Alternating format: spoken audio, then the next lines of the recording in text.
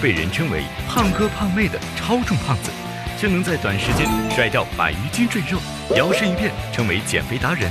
羡慕你，各位谁有他电话呀？干嘛呀？呃，我没别的意思啊，我没别的意思，我表示羡慕嫉妒恨。神秘食材大揭秘，特殊的减肥食谱，让他们在享受美食的同时，同样享受健康身材带来的愉悦。真是话不说不明，目怎不透，砂锅一辈子都打都不漏。人家要是不说的话，咱还真想不到。以假乱真的极品扣肉，神奇的豆浆巧搭，让你想不瘦都难。超级饱腹的低卡食材，究竟又能带来怎样的减重功效？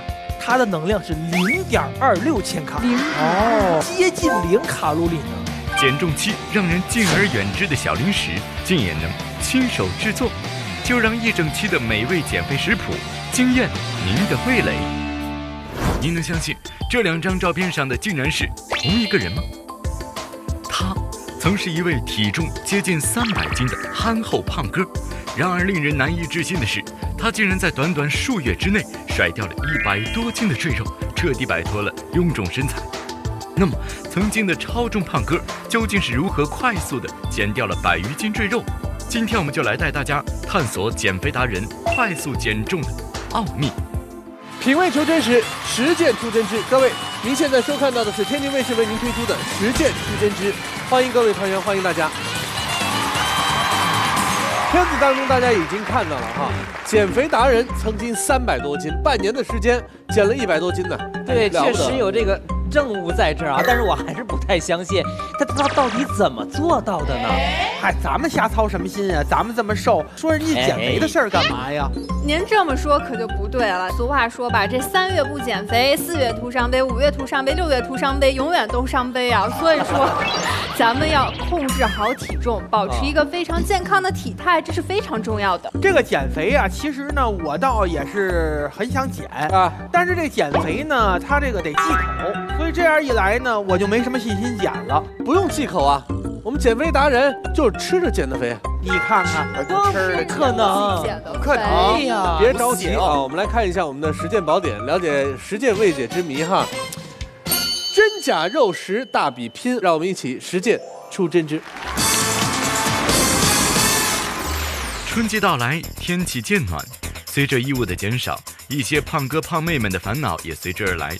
减肥作为一个永恒的话题，再次被人们提上了议程表。但是，现代人的生活节奏如此之快，工作量大，运动时间却又十分有限。而春天恰好又是食欲最旺盛的时候，这时候要控制饮食、减脂减重，谈何容易？但是我们之前也看到了，我们的减肥达人真的就做到了在短期之内甩掉赘肉。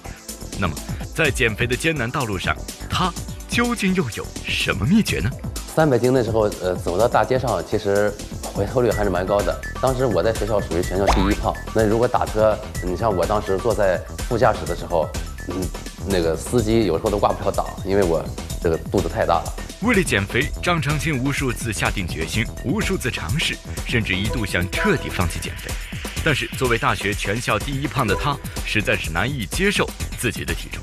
其实让我下定决心减肥的原因，主要就是因为健康。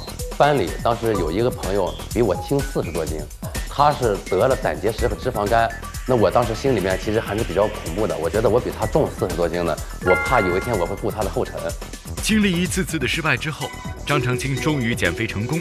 半年的时间，他从将近三百斤的臃肿身材恢复到了如今一百四十三斤的正常体重，足足甩掉了一百五十斤左右的赘肉，成为地地道道的减肥达人。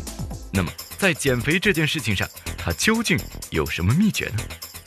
其实减肥的方法有很多很多，但其实无论你怎么减，你也逃离不开合理的饮食加上适当的锻炼。而我，还是一个无肉不欢的人。直到有一天，我发现了一个用假肉代替真肉的这么一种饮食的方法。什么？用假肉代替真肉？我们都知道，好多屡次减肥失败的人，也都是败给了自己的这张嘴。爱吃肉甚至只吃肉的也大有人在，但是这假肉又是什么呢？我们还是回到演播室，为您一一解答。用假肉替代真肉，这是秘诀。有疑问啊，这假肉它也是食物，不吃能减下来都不错了，何况它还吃，所以这事儿靠谱吗？人家都有活生生的例子摆在那儿了，但是我更关心的是这个假肉和真肉这个味道，它到底差别有多大？你就是好吃。这样吧，我还是来问问我们这个实践顾问，好吧？有请交通老师。实践顾问，国家一级公共营养师，交通。交通老师，嗯啊，刚刚在片子当中我们也看到了啊，用这个另外的食物代替肉食，然后半年的时间的三百斤当中减掉了一百多斤，太神奇了。这个呢看着是很神奇，但是做起来并不难啊？怎么简单？实际上呢，我们只要把算术题做好了。我们这个减肥就很容易啊不可能。那我小时候就是数学课代表，我怎么没没减下来？这这这，所以这明显例子嘛，算术跟减肥不搭嘎，没关系啊。这个事儿呢，这么跟你讲，嗯，这个能量就相当于我们这个肥胖与否。哦，你这个摄取的多，抛出的少，那么你一定是剩的多。对，哎，这是最简单的加，做成加法了，囤积脂肪了。而如果你摄取的少，消耗的多，做成个减法，你本身的热量啊，包括你的脂肪都会往下减，这就是我说的算术题，其实就是那两句话呀，管住了嘴，迈开了腿，是吧？实际上李然认为他自己是吃的多，对对，但是吃的多啊，跟胖还不是一个概概念。我举个例子吧，我们这儿呢有大半盘的这个红烧肉啊，还有呢这个一整碗的米饭，他们两个放在一起，李然。他们两个给你吃一顿，你能吃饱吗？半饱。呃，要是再有点别的菜，差不多了就。所以说你的胖是有原因的。按照我们的数据分析，每一百克的红烧肉最少它的热量也要高于两百二十千卡，而这一碗米饭呢，怎么样？一百克的话，它只有一百一十六千卡。那李然，你吃红烧肉，你怎么也得吃将近半斤到一斤吧？其实他应该半头到一头。所以说你这么一算的话，你一顿饭的热量就超过了一千千卡。简而言之，你走路啊，慢走的话走七个小时，或者说你去爬泰山，爬六千个凳，哎，你消耗的热量差不多是一千千卡。您说的这个道理是没错啊，但是刚才李然说了，他只爱吃肉，你让他蔬菜吃饱，他心情不好他也不干啊。那今天咱们就以这个李然举这么一个例子，说李然比平常人或者是一般的常见的女性更难以减肥，有三点原因。第一点，他没有办法节食，他管不住嘴。对。第二点。他平时所需要的能量和略高一些，因为男人本身就比像孟潇这样的女生需求的要高，需求高自然吃的多，这是一个人类的本能。对，第三个就是他本身希望吃更多的肉食，肉食的需求量也高，这三点加在一起，李然这个肥就不太好减了。但是我们还是有办法把假肉做的跟真肉一样。你的能量就低了，吃的多你也不会太胖。哦，既不亏嘴，又要健康减肥，各位让我们一起实践出真知。究竟有什么方法能让正在努力减肥的人既吃得饱，又能减脂减重呢？在研究以假肉代替真肉的饮食食谱中，我最常吃的就是冬瓜。那么我们知道冬瓜呢，它具有很多的营养素。那么尤其值得注意的是，维 C、维生素 B 一、B 二、B 三的含量是比较丰富的。同时呢，我们冬瓜中的膳食纤维含量是非常高的，这我们从冬瓜那个丝状的结构呢就能看得出来。所以说，在减肥的时候多吃些冬瓜，无论是从营养素的摄取，还是促进我们减肥的角度来说呢，都是非常有效果。为了让大家更形象地看到我们平时所吃的食物热量，我们以比较常见的一道菜肴扣肉为例。来做热量拆解。做扣肉所需要的主要食材是猪五花肉五百克以及色拉油二百五十克。每一百克猪五花肉的热量为五百六十八千卡，每一百克色拉油的热量为八百九十八千卡。如此算来，已经远远超过了一个成年人每天的基础代谢所需要的能量。那么，咱们的减肥达人建议的用假肉代替真肉的方法，是不是能解决掉这个问题呢？那么今天呢，我就教大家用冬瓜来做一道瘦身美食——素扣肉。用冬瓜做扣肉，这不可能吧？虽然我们都知道这冬瓜除了不长肉之外，还有利水去湿气的功效，尤其是对肥胖人群中的痰湿体质，更是适合不过的食物。但是这冬瓜可是水气十足，怎么能做出肉的效果呢？制作素扣肉选择的冬瓜呀，最好选用老冬瓜，因为它呢纤维更丰富，口感呀更有嚼劲儿。减肥达人告诉我们，用冬瓜做的素扣肉热量低到您难以想象，因为制作素扣肉使用的五百克冬瓜热量只有六十千卡，加上烹制时使用的五十克橄榄油的热量，整道菜肴的热量还不足真正扣肉的五分之一。不仅如此，用冬瓜制作的素扣肉，无论是外形还是味道，绝不逊色于真正的扣肉，甚至已经超越真正扣肉的口感。那么，这样一道减肥、健康又美味的素扣肉，究竟是怎么制作的呢？制作素扣肉需要的食材是老冬瓜、香菇、橄榄油。首先，我们将冬瓜去皮改刀，切成一厘米宽的厚片。接下来，我们的减肥达人就有一个小窍门和您分享了。冬瓜在切片之后呀，我们最好用盐腌一下，这样的话呢，使里边的水分呢尽量排出。那当我们下油锅煎的时候呀，就更不容易吸油了。在等待冬瓜腌制的时间里，我们来处理香菇。香菇切断改刀成为香菇块。我们都知道，扣肉又叫梅菜扣肉，一般都选用梅干菜垫在肉下面。但是由于梅干菜非常吃油。所以我们选择了口感更接近肉食、热量也相对较低的香菇铺底，这样的搭配也能够达到利用假肉代替真肉的目的。冬瓜腌制完成之后，我们将腌好的冬瓜进行煎制。在这里需要注意，我们制作扣肉只需要使用的是少量的橄榄油。待油温八成热时，将腌好的冬瓜放入煎锅。细心的观众可能发现了，我们在对冬瓜进行煎制的时候，使用的是平底锅。一来平底锅有利于冬瓜均匀受热，另一方面需要的油量更少，也减少了油量摄入。冬瓜煎至两面金黄后取出，接下来用煎完冬瓜剩余的底油炒香菇，将香菇倒入煎锅，加入少量盐，增加体味，待香菇变色便可取出。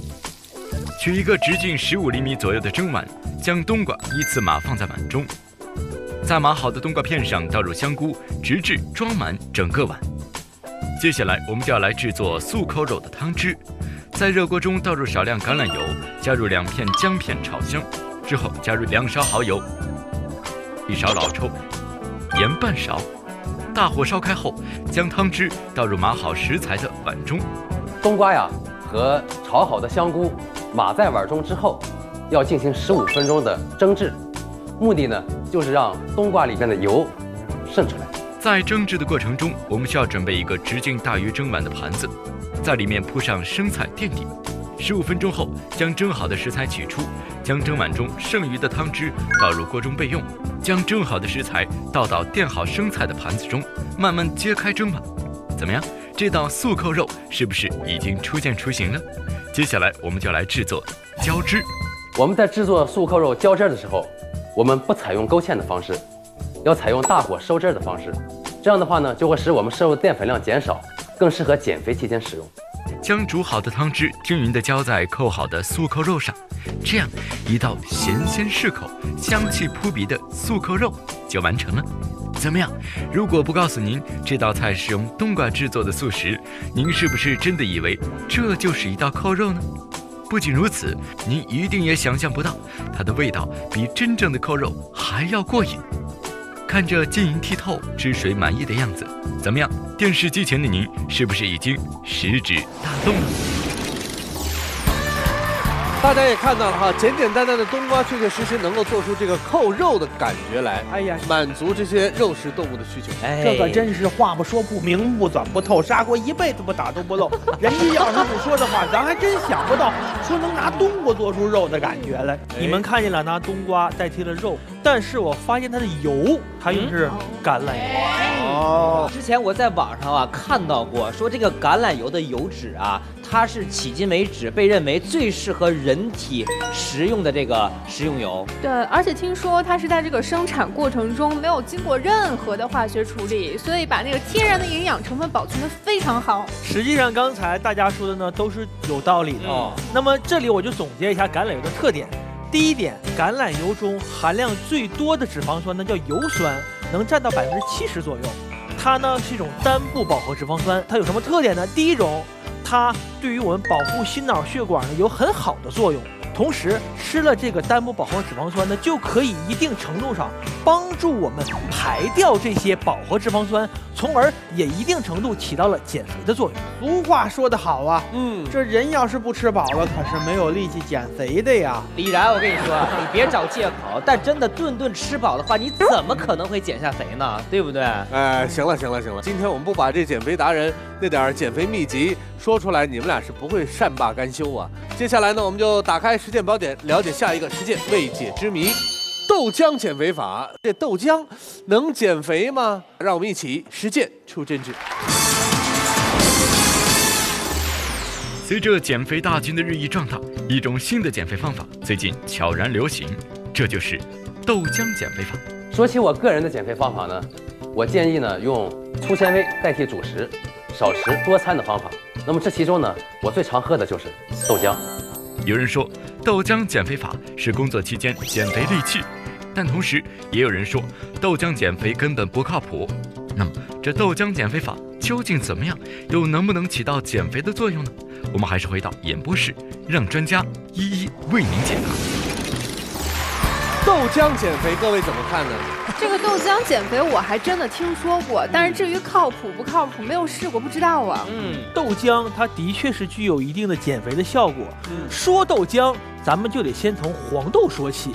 黄豆它属于植物性的食品，嗯膳食纤维含量非常高，并且既有可溶性的，也有不可溶性的。不可溶性的，举个例子，我们民间有个说法，吃豆什么多？屁多，那实际上这个气体是怎么来的呢？哎，就是由于豆类，特别以黄豆为主中，它们的膳食纤维在肠道里进行发酵。哎，发酵过程就是促进我们排泄的过程，排气、排泄都是往下排，所以说吃豆你屁自然多，就是因为膳食纤维的作用。第二个作用，我们都知道动物性食品中是有胆固醇的，对，而恰恰是这个豆类黄豆中没有胆固醇。哦但是它有什么东西呢？叫植物固醇，也叫植物甾醇。它的特点是什么呢？进入体内，在肠道中吸收的时候，人体是分辨不出来你吸收的是胆固醇还是植物固醇的。它可以蒙混过关进入人体，并且进入人体之后，这个植物固醇挤占了我们这个胆固醇的名额，但是它不会增加我们心脑血管的这个压力和风险，直接就被排出去了。所以说，吃黄豆中的植物固醇有降低胆固醇的作用。好，哎，这个这是第二点。对，第三个特点也是我们最常见的，豆浆里面含什么最多？水，水。啊没错，你喝了豆浆的时候，它就会帮助你体内多余的水分排出去。所谓的利尿消肿，就这个意思。所以说，通过这三点，我们就能知道豆浆真的是减肥的利器。哎，这老师说的真的是让我信服了啊！但是现在这豆浆品种很多，什么你看这有黄豆的、黄黑豆的、绿豆的、红豆的，大那红豆哪一种营养价值高？可以说哪一种更适合减肥减呢？肥，每个人通过不同的豆浆都能获取到很充足的营养。实际上，把它们也合在一起，打出一杯杂豆的豆浆，效果是更好。但是问题是我家没有豆浆机呀、我难道为了喝个豆浆，我再去买个豆浆机吗这是？最大的问题所以。说，有没有什么办法，我不用豆浆机也能喝到豆别担心，浆？别担心，所有的问题我们请一位这个达人帮助大家来解决。各位，就让我们一起实践出真知。难道不用豆浆机就不能做豆浆了吗？我们的减肥达人张长青可是豆浆的忠实爱好者，他又有什么好办法呢？有些朋友问我，家里没有豆浆机，该怎么制作豆浆？那我今天呢，就教大家在不用豆浆机的情况下制作既可口又美味，而且还减肥的豆浆。不用豆浆机制作豆浆，我们要先准备好泡发好的黄豆、清水以及一个搅拌机或者打碎机。我们制作一人份豆浆所使用的黄豆和清水的比例啊是一比二，也就是一碗黄豆，两碗清水。打开搅拌机的开关，搅拌三分钟，确保所有的豆子都被打碎。三分钟后，将搅拌杯取下，把打好的豆浆倒入容器中。随后准备一个过滤网，将搅拌机中剩余的豆浆与豆渣混合物倒出，进行按压过滤，将其中的豆渣过滤出来。制作完豆浆之后，剩余的豆渣呀，大家千万不要扔掉，因为那是减肥期间非常有用的一种食材。一会儿我就教大家用剩余的豆渣来做一道既美味又有营养的主食。将豆渣全部过滤完成之后，一碗浓稠的豆浆就基本完成了。但是要注意，这时候的豆浆还是生豆浆，是不能食用的，因为大豆中含有胰蛋白酶抑制物、细胞凝集素、皂素等物质，这些有的物质比较耐热，所以食用生豆浆或者半生熟的豆浆就可能引起中毒。所以喝豆浆之前一定要彻底煮熟。在煮制豆浆的过程中，大家一定要注意，要用大火烧开。煮十五分钟以上才可以食用。当生豆浆加热到八十摄氏度到九十摄氏度时，会产生大量的白色泡沫。很多人以为这时候豆浆已经熟了，但其实这是一种假沸现象。此时的温度还不能够破坏豆浆中的皂带物质，所以生豆浆一定要煮至十五分钟以上，确保豆浆完全煮熟才能食用。豆浆制作完之后，再搭配一些其他的食材。就可以制作出一顿超级饱腹的纤维素早餐。我经常和豆浆一起搭配吃的就是香蕉和燕麦。香蕉、豆浆、燕麦都是纤维素超多的食物，所以豆浆和香蕉搭配食用可以起到清理肠道的效果，饱腹感也非常强，是减肥期间早餐的不二选择。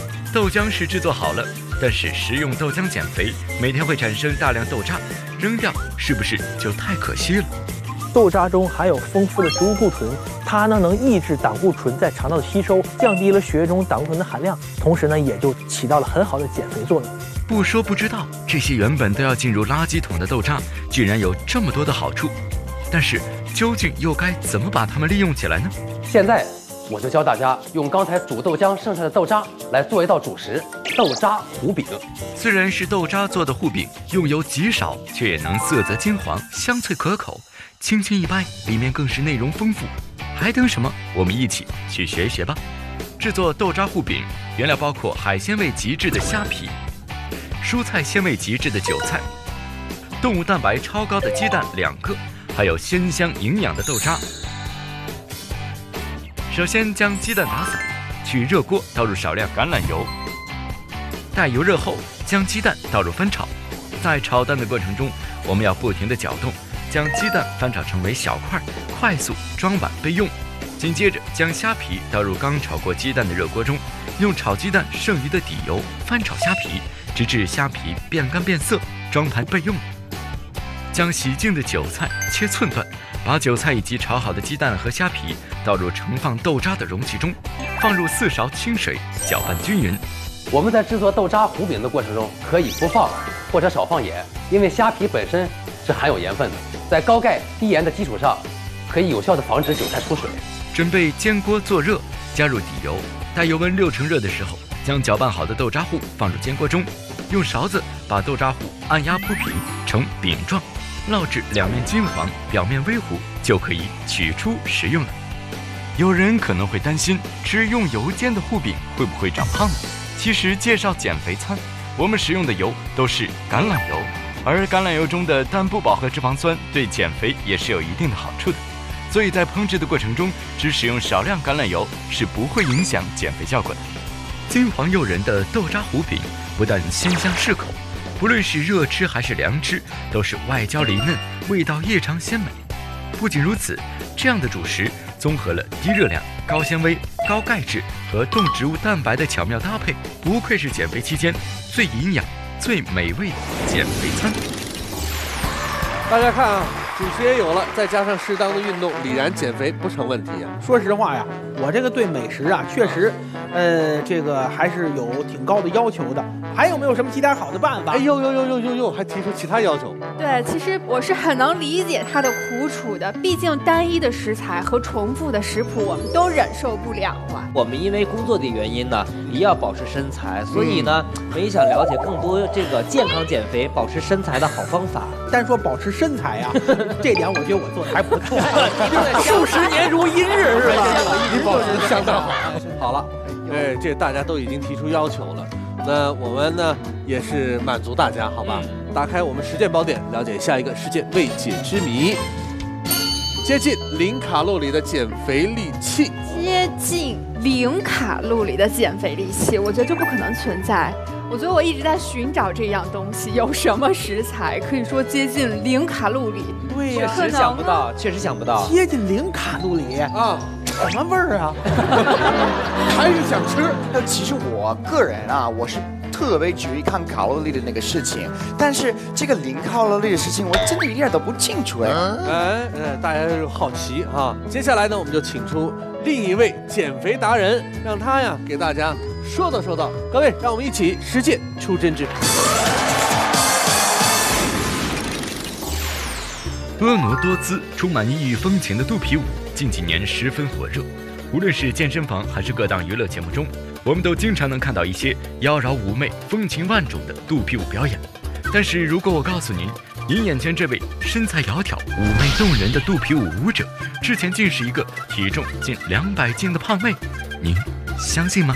别看我现在身材还不错，曾经我是一个一百九十多斤的胖子。我们的达人小童目前是一位肚皮舞老师，虽然她也承认自己曾经是个胖姑娘，但是我们还是很难想象眼前这个面容姣好、楚楚动人的女孩以前究竟是什么样子。胖的时候逛街也基本上不喜欢去逛，去了也买不到你能穿的衣服。说你胖，说你腿粗，说你这个那个，觉得没有自信，我一定得瘦下来。说起减肥这件事儿，小童经历的要比一般减肥的人复杂的多，因为他不但曾经经历过从暴肥到病态暴瘦，还体验了从暴瘦再次胖起来的痛苦过程。我一米七四，当时最瘦的时候瘦到了八十多斤，然后爸爸妈妈就看到我这个状态，觉得特别担心，就是强行的让我休学，逼着我吃东西，大概有半年的时间吧，就这么一直吃，半年又胖回去了，又胖到了 一百九十多斤。然而，就是在经历反反复复的胖了瘦、瘦了胖的过程之后，小童竟然又在短短的八个月时间里成功减重。这一次，他不但瘦了，而且还健健康康的瘦了下来。那么，在经历了无数次减肥折磨的他，究竟是怎么样做到在短期内健康减重的呢？你像每天我们要工作要学习，怎么能饿着肚子去工作呢？对吧？怎么样才能够既吃得饱，又能够减肥？后来好不容易找到了一种食材，那就是魔芋。其实魔芋这种食材并不少见，但是魔芋究竟有什么神奇功效？我们还是回到演播室，让专家为您解答。你们相信吗？原来窈窕妩媚的这个舞者哈，竟然原来是重达两百斤的一个大胖子。这也太难以置信了，我表示羡慕嫉妒恨。哎呀，哎，你你们啊各位谁有他电话呀？干嘛呀？呃，我没别的意思啊，我没别的意思，交流交流怎么减肥。你得了吧，啊还没什么意思。你就是看上人姑娘了。这个魔芋是什么东西？我觉得很神奇的样子。魔芋它的学名呢叫蒟蒻，它主要分布在东南亚地区，后来传入中国。那么实际上呢，魔芋最主要的特点是它富含膳食纤维、低糖、低脂肪。第二点呢，魔芋的吸水性和保水性特别强，只要魔芋遇见了水，马上膨胀，它的膨胀系数能达到八十到一百。进入胃里之后呢，它还能进一步的吸水膨胀，进一步增强了饱腹感。哦，这个蒟蒻呀，我倒是经常的在一些四川火锅当中啊，说是见到过。哦，涮火锅当中涮过。这个叫魔芋豆腐，嗯，是我们经常见的，把魔芋呢经过一定的处理呢，变成豆腐块儿一样的形状。哦，魔芋豆腐，它不是豆制品，嗯，同时也不含淀粉。哦，没有淀所以粉啊。它是一个一百克的魔芋豆腐，它的能量是零点二六千卡。零哦为什么说接近零卡路里呢？但是这是魔芋啊，算是一种偏门的食材。对，但是对于这个减肥呢，我们应该怎么做呢？哎，接下来呢，就让我们这个达人哈，嗯，呃，把这个方法教给大家。各位，就让我们一起实践出真知。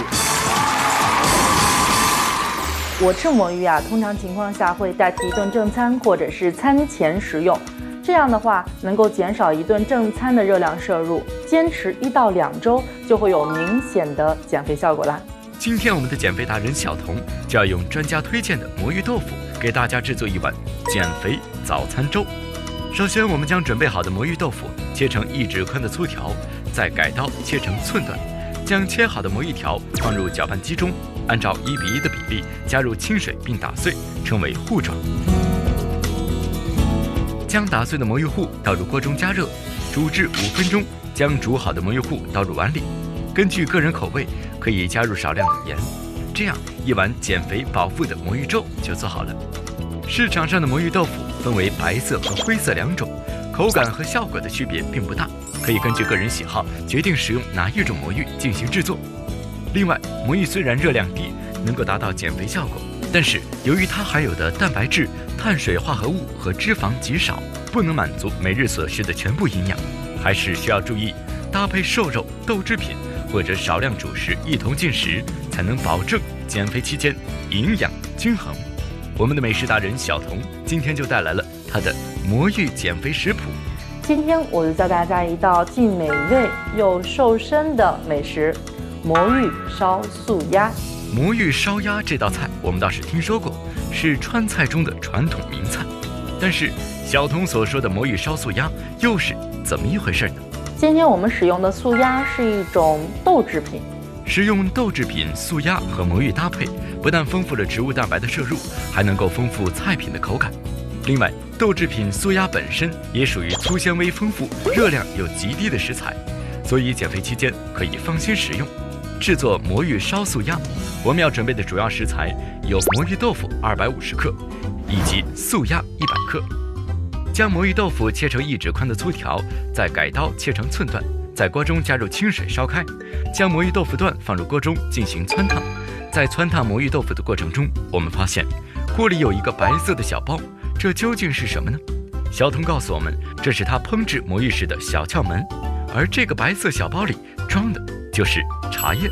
把茶叶制成茶包，放入开水中与魔芋豆腐汆烫两次，这样就能去除魔芋豆腐的杂味了。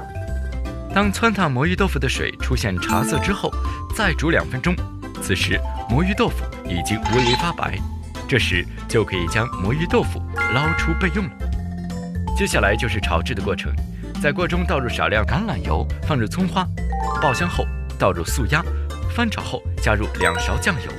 我们在炒制素鸭的时候啊，就加入了酱油，这样看起来素鸭会更像肉一些。待素鸭上色之后，倒入汆烫好的魔芋进行翻炒，之后加入料酒。在素鸭和魔芋都成熟之后，加入盐，待大火收汁之后，这道魔芋烧素鸭就可以装盘食用。有了这道菜，让您在减肥期间不必再忍受挨饿的痛苦，品尝美味的同时又能瘦身减肥，真可谓是一道美味和身材都不辜负的双赢大菜。魔芋呢，确实非常好，尤其是在减肥期间用作减肥哈，值得大家推荐推荐。我觉得吧，刚才你们呢都说的是一些什么主食啊，还有一些炒菜、蔬菜。我觉得这个呢还不够，因为我这个人生活的比较精致，哎平时呢除了一日三餐呢，还要搞一些小甜点什么的，时不时的要吃一吃。您看，比如说我就会随身携带着一些啊这些个小零食，哪儿来的零食？你说说，正餐一顿不落，而且量比我们都大，还吃点小零食，你能瘦得下来吗？老师，我想问一下，那个用魔芋可以做到零食？是吗？啊，当然可以了，有很多零食是拿魔芋做的。哎呀，行了，各位，所有的问题都摆在这里了。接下来呢，我们请达人帮助大家统一的来解决一下。接下来就让我们一起实践出真知。零食对每个希望瘦下来的人来说都是可望而不可及的，但是用魔芋制作的零食，不但能够在减肥期间增加饱腹感，还能够解馋。如果您是对零食特别偏爱的减肥人群，接下来小童教我们用魔芋制作的这个小零食，您可千万不能错过。今天我就教大家一种用魔芋来制作的小零食——魔芋果冻。用魔芋制作的果冻晶莹剔透，口感层次丰富，果冻入口即化，魔芋筋道有嚼劲，非常像我们平时吃到的椰果的口感，但是热量却比椰果低得多。这样一款外形可人、口感润滑的魔芋果冻，是不是已经让您迫不及待的想要尝一尝了？马上跟着我们一起来制作吧。通常情况下，大家做果冻啊，会需要琼脂来做。今天我向大家推荐一种更容易找到的东西，来代替琼脂制作果冻。制作魔芋果冻，首先要准备白魔芋一块、橡皮糖十克，以及做果冻需要的模具或者小茶杯等容器。使用橡皮糖来做的果冻啊，不但 Q 弹美味，而且啊方法特别简单。有的人可能会担心，这不是介绍减肥期间的小零食吗？这橡皮糖是甜的，用它做果冻，减肥期间能吃吗？其实您大可不必担心，因为每一百克橡皮糖的热量大概是三百千卡。在制作魔芋果冻的过程中，我们只要使用十克左右的橡皮糖，搭配一百毫升的清水，就可以制作出普通大小的十个果冻。每个果冻的热量已经远远低于您从超市购买的成品果冻。在馋零食时适当食用，既解了馋，也不必担心摄入了过多的热量会长胖，绝不失为减肥期间的零食首选。首先，在锅中加入一百毫升清水，待水温渐渐升高，锅底出现气泡时，加入十克橡皮糖。这里要注意，一定要温水化开，水温太高容易让橡皮糖粘锅。不断搅动橡皮糖，直至完全化开，放置冷却。将白魔芋切成细条后，改刀切成小粒备用。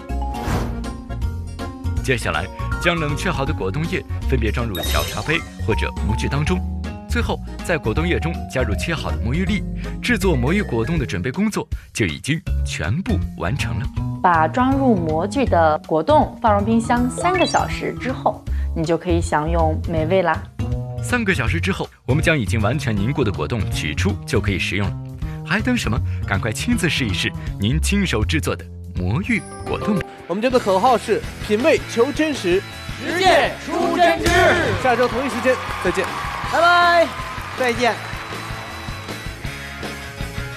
欢迎登录优酷网、腾讯视频、搜狐视频、爱奇艺、乐视视频、PPTV 聚力收看节目完整视频。